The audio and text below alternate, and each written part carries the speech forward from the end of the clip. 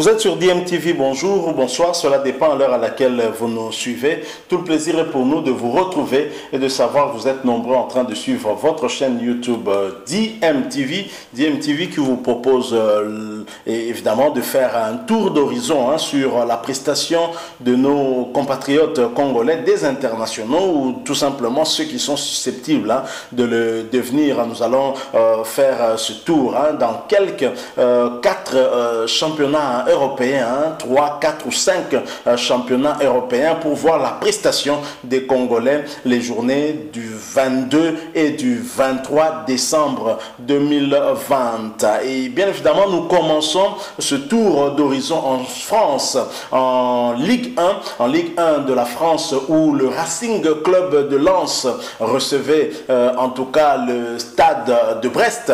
Et euh, vous le savez, hein, dans cette équipe de Lens, il y a un international congolais. Il s'agit bien de Gaël Kakuta. Nous allons euh, parler de la prestation de leur équipe. Hein. Et Kakuta et le Racing Club de Lens euh, se sont imposés en face de Brest. Hein. Après euh, leur défaite, deux buts contre zéro sur la pelouse du FC MS le week-end dernier, le Racing Club de Lens se relance bien hein, en championnat en s'imposant à domicile face au stade brestois deux buts à 1. Alors que Gaël Kakuta était incertain hein, avant le début de cette rencontre suite à une fatigue musculaire. Il va finir par faire son entrée en cours de jeu et ce sera euh, à la 77e minute. Il va remplacer un autre euh, Congolais, mais cette fois-ci Congolais d'origine, hein, puisqu'il est de nationalité française jusque-là. Il s'agit bien de Arnaud Kalumwendo. Arnaud Kalumwendo dont nous reviendrons hein, bien sûr dans, euh, un peu plus tard lorsque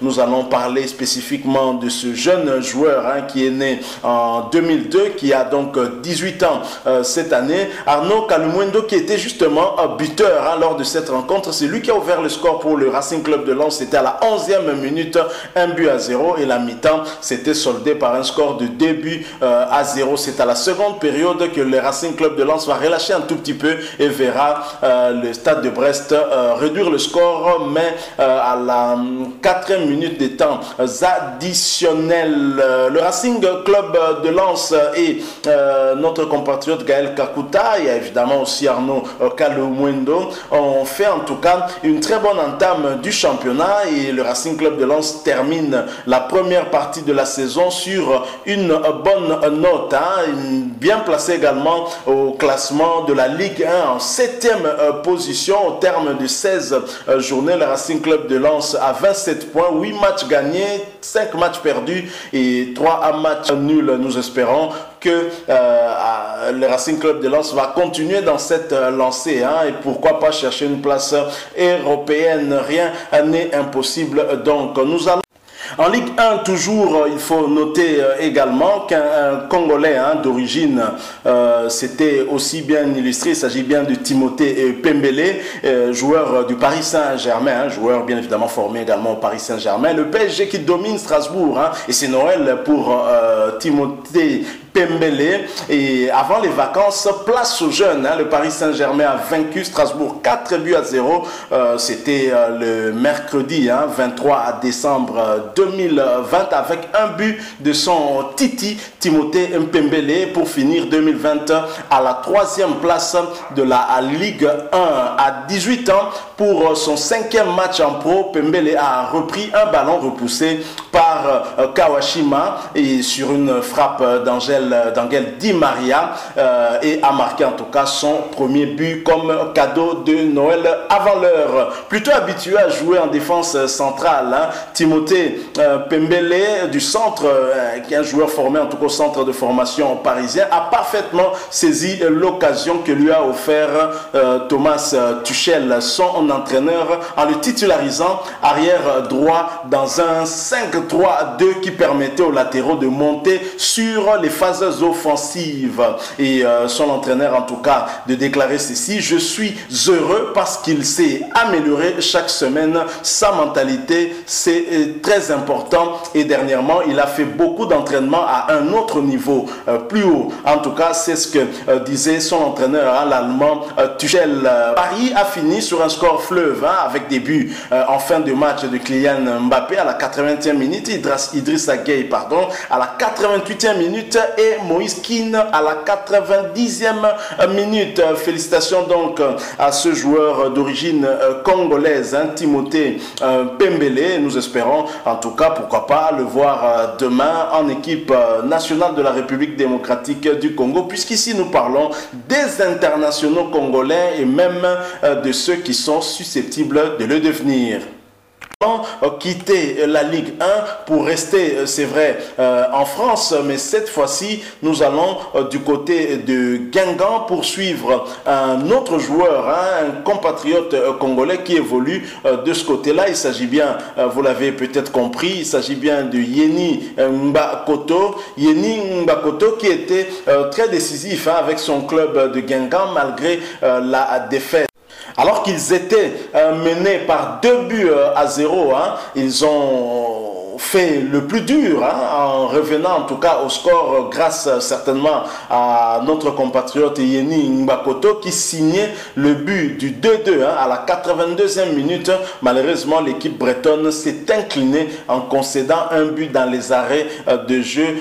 3 à buts hein, comme qui dirait, il faut continuer à rester en tout cas concentré lorsque euh, l'on joue et surtout euh, vers les dernières minutes. Mais quand même, pour cette rencontre, nous pouvons nous féliciter de la prestation euh, de notre compatriote Yeni Mbakoto qui a inscrit trois buts sur euh, ces quatre derniers euh, matchs en championnat. Il faut le faire, hein, c'est une très bonne chose. Alors en Ligue 2, en championnat pour le classement, ça ne va pas très bien pour Guingamp. Guingamp qui est en tout cas à deux longueurs du premier relégable, hein, Rodez, et Guingamp qui occupe la 15e place, 16 points, 17 matchs joués, 3 matchs matchs gagnés contre 7 perdus et 7 matchs nuls. Ça ne va pas très fort pour Guingamp. Nous espérons que cette équipe va se ressaisir, hein, que notre compatriote va continuer en tout cas à, aligner comme ça des très belles prestations et surtout à marquer des buts pour aider son équipe à, se maintenir. Hein, parce que là maintenant le combat certainement pour Guingamp sera le maintien. Alors nous allons euh, quitter le championnat euh, français, la Ligue 1 ainsi que la Ligue 2 cette fois-ci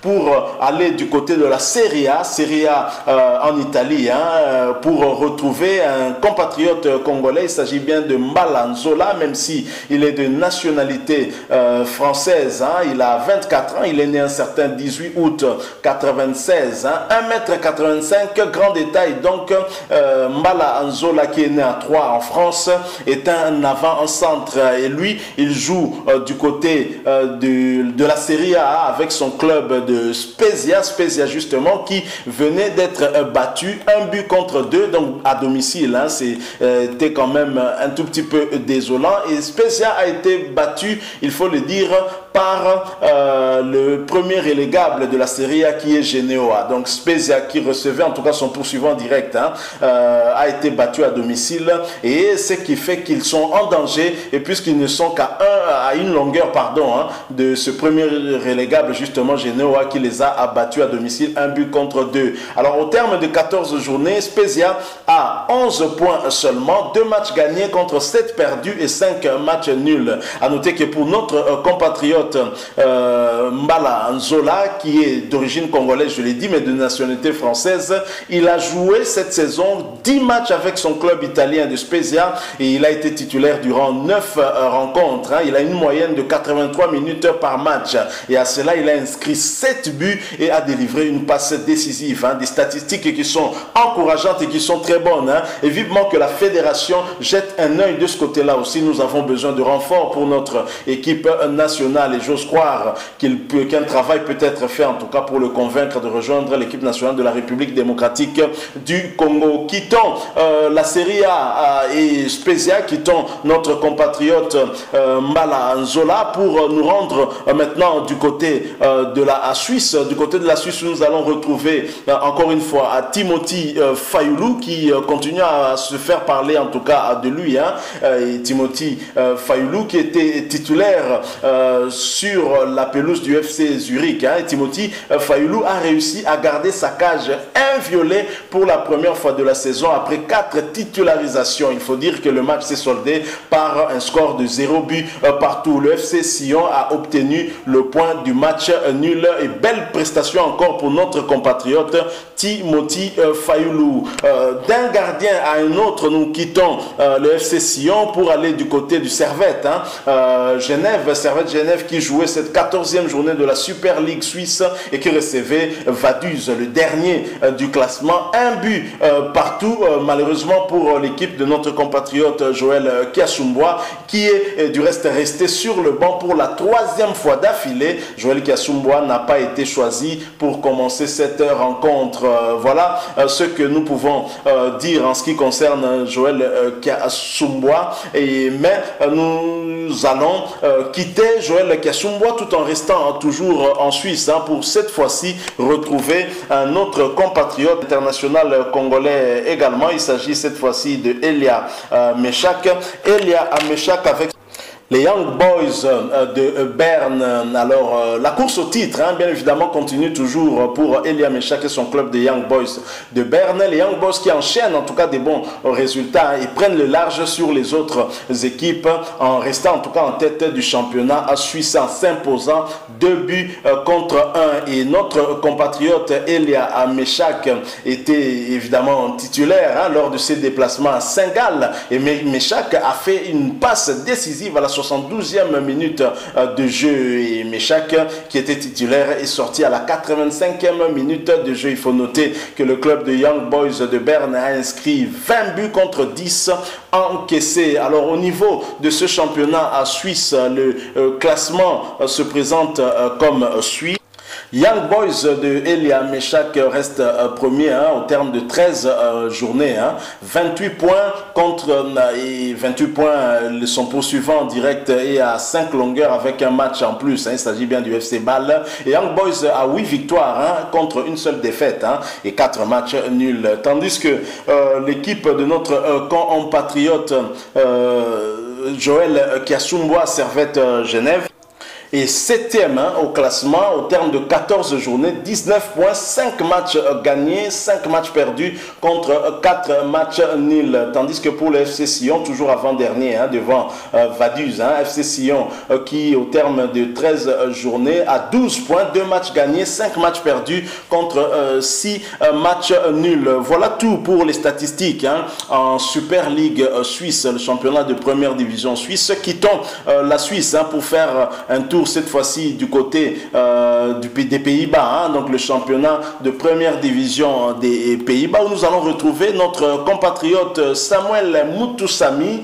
Euh, Samuel Mutusami qui est également international euh, congolais, vous le savez, il a été convoqué lors des dernières rencontres hein, disputées par les Léopards. C'était lors de la double confrontation contre l'Angola. Et pour le compte de la 14e journée du championnat de première division de la Hollande ou des Pays-Bas, Fortune Fortuna Assitar, club de Samuel Mutusami, a battu le Ralgic par euh, un score de 2 buts à 1. Hein. Malheureusement pour notre compatriote Samuel Mutusami, il est resté sur le banc pour la deuxième fois à d'affilée. À noter que euh, son club, le Fortuna Assitar, a 20 buts euh, marqués contre 32 encaissés. Pas très très bonne statistique, hein, mais sur le classement, Fortuna Citar occupe la 13e place hein, au terme de 14 journées.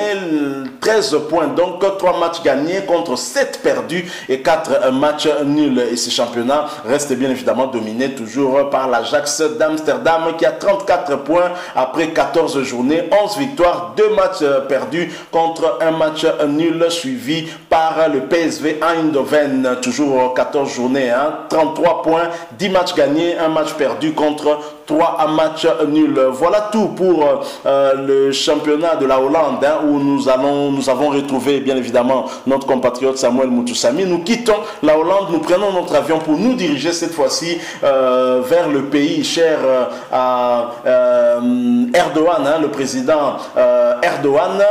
Vous avez compris, hein, il s'agit bien de la Turquie où se jouait la 13e journée du championnat turc. Et bien évidemment, et là-bas nous avons avons suivi un international congolais, ça dit bien d'aujourd'hui, Lukoki, qui se déplaçait, hein, enfin dont l'équipe se déplaçait, Yeni et Malatia qui s'est déplacé du côté d'Alania Sport dans le cadre de la 13e journée du championnat turc. Malheureusement pour notre compatriote Lukoki, il est resté, il, n'a pas été en tout cas convoqué hein, pour la septième fois d'affilée. Que se passe-t-il pour Lukoki Nous n'en savons trop rien. On cherchera en tout cas à avoir un peu plus d'informations parce que ça fait déjà sept matchs qu'il n'est pas convoqué, ne se retrouve même pas sur le banc. Alors quittons euh, Yeni Malatia, club de Lukoki, pour nous rendre du côté de Galatasaray, hein, toujours dans le cadre de cette 13e journée du championnat turc, où nous allons retrouver cette fois-ci Christian Louindama, qui a été de la partie hein, lors de cette victoire, 3 buts à 1 contre Gotep. Hein,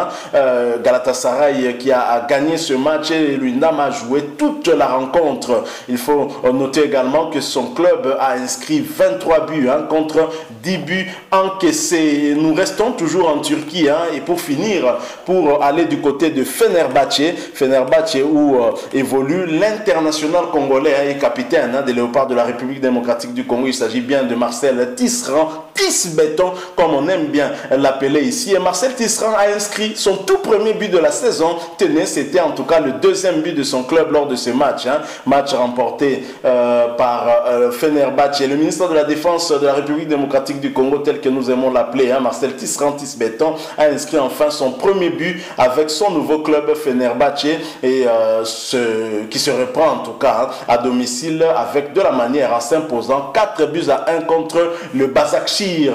Voilà euh, ce que nous pouvons dire. Hein. Félicitations surtout à Marcel euh, Tisserand qui aura en tout cas fourni beaucoup d'efforts. Hein. À noter aussi que sur ce championnat turc reste en tout cas dominé toujours par Alanya Sport qui occupe la première place au terme de 14 journées avec 27 points. Mais euh, Christian Windam et Marcel Tisserand sont en tout cas une longueur hein, de cette équipe de Alanya Sport. Et d'ailleurs, Galatasaray de Christian Windam a un match en retard, hein, mais à 26 points. 8 matchs gagnés, 3 matchs perdus contre 2 matchs nuls, alors que Fenerbahçe a également 14 matchs, 14 journées. Donc 26 points également, 8 matchs euh, gagnés, 4 perdus contre 2 matchs nuls. Euh, quant à, notre compatriote, notre euh, compatriote en tout cas, euh, il s'agit bien de euh, Jordi Lukoki et son équipe de Yeni Malatia. Ils occupent la huitième position avec 20 points, 13 en 13 journées, 5 hein, matchs gagnés, 3 perdus et 4 matchs nuls. Un autre Congolais s'était euh, illustré également, hein, ou disons avait fait partie aussi de la victoire de son équipe hein.